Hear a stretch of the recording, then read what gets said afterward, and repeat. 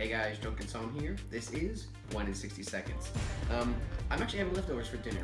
Uh, we had a huge dinner last night at uh, Cafe Santorini in Pasadena.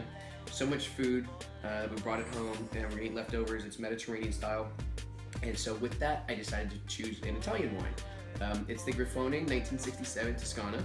It's a super Tuscan blend of 85% Sangiovese, 10% Cab Sav, and 5% Syrah. Um, it's really nice because it's soft and smooth, which is the Sangiovese, but the Cabernet and the Syrah actually give it a lot of complexity and depth and color so that you get a lot of um, cherry and raspberry with a little bit of strawberry on the palate and then some oaky finish. Maybe a light white pepper uh, on the palate as well. It's super good. It's gonna go really well with the pizza and probably probably the rest of the Mediterranean food. Only five dollars at Trader Joe's, so check it out. Remember, that you like, no like. Cheers.